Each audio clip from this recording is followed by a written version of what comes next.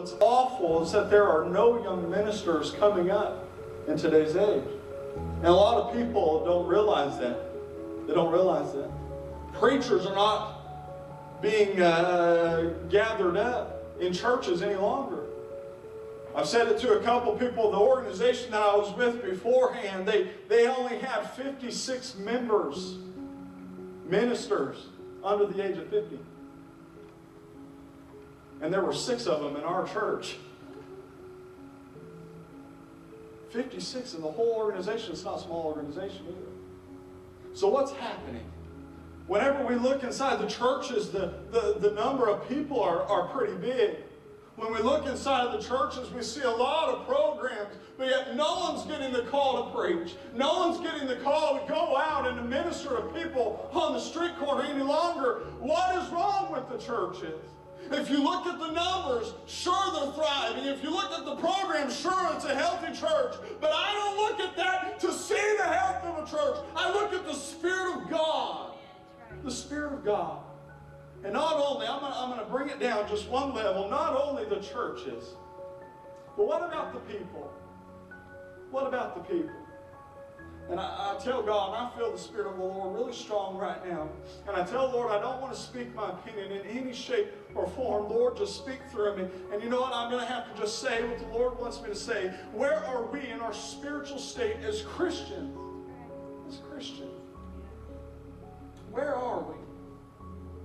Lot of times a preacher can get up and I can look into the eyes of, uh, of church members and I can say, you know what, it seems like they're thriving. Maybe they're being blessed financially or maybe they're being blessed this way or that way, but that does not attribute to the health of a Christian. We see where David in, in, the Psalms, he always constantly praying to God, why do the heathen rage? Why are the heathen constantly being blessed? And I'm righteous, I do your will, I'm full of the Spirit of God, and it seems like I'm kicked while I'm down.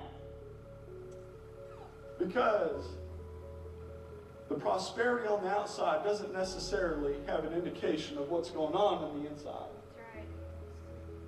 So, what's going on on the inside of our hearts? What's going on on the inside of our hearts? On the outside, like I said, a lot of people seem like they're, they're being blessed, like they're doing great, but where are we spiritually?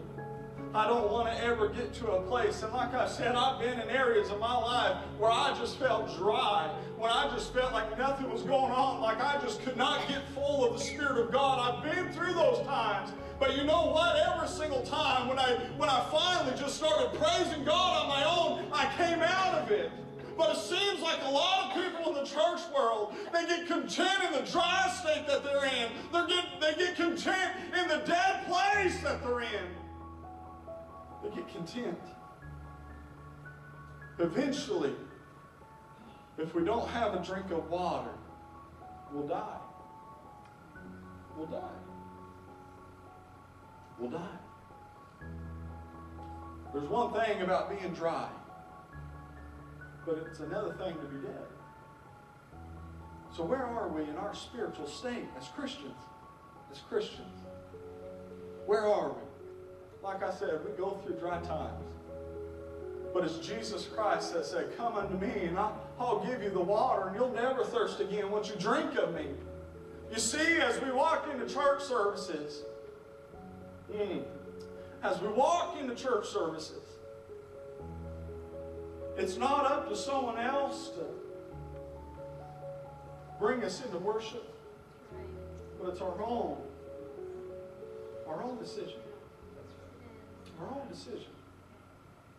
It's not someone else's job, and sure, there's a lot of things that help. I understand that. But it's not someone else's duty and job to bring us into worship. Either you want to worship God or you don't. Right. Or you don't. In Psalms chapter 143 and verse 6, it says, I stretch forth my hands unto thee. My soul thirsteth after thee as a thirsty land. See. So what was the psalmist's answer? He said, I'm dry, I'm barren, I, I, don't know where to turn, I don't know where to go. I'm getting real dry. So what did he say he was going to do? He said, I'm going to stretch forth my hands. I'm going to start praising you. And I hope that you come by. I hope that you water me down a little bit. I hope something happens, but I'm not going to stay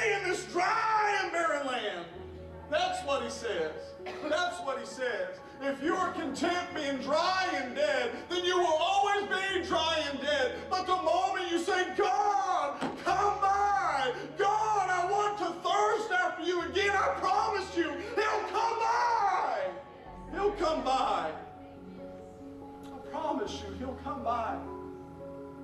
Praise the Lord. We live in a church world today. Whenever uh, someone starts to feel the Holy Ghost, they say, go into a back room and, and do whatever you want. But let me tell you, I want the fire of Almighty God not only in my church, but I want it in my life. I want something way down deep in my bones so that I can hang on to it, church. I want something deeper than just a little old church service. I want the anointing of Almighty God to resonate in my heart so that I can go out into a die and barren land called the world and that I may reach people that are lost and dying and going to a devil's hell. That's what I want for my life. That's what I want for my life.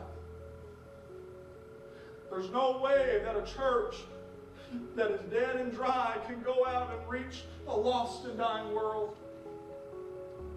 We always use that saying, it's like the blind leading the blind.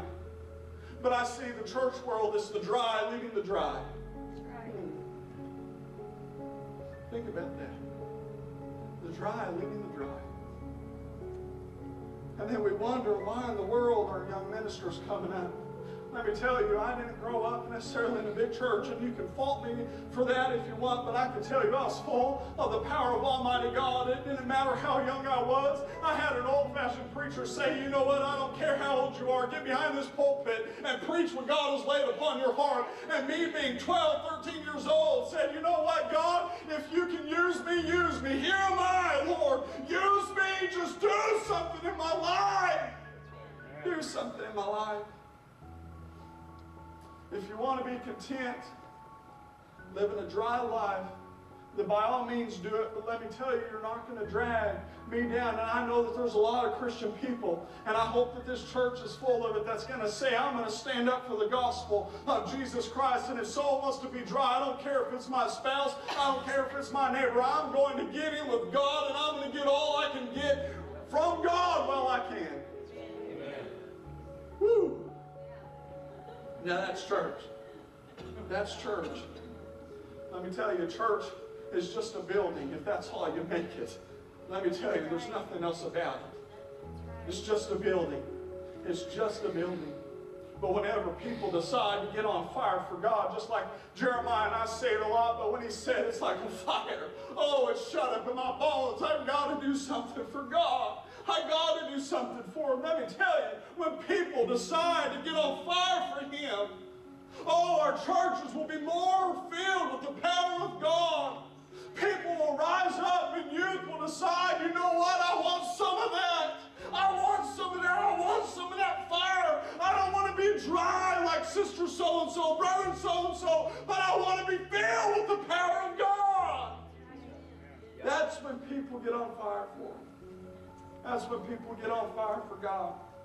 It's not when they go into a church service and have a program, and those programs are great, and I want to have more of them, let me tell you. But you know what? That's not saving kids.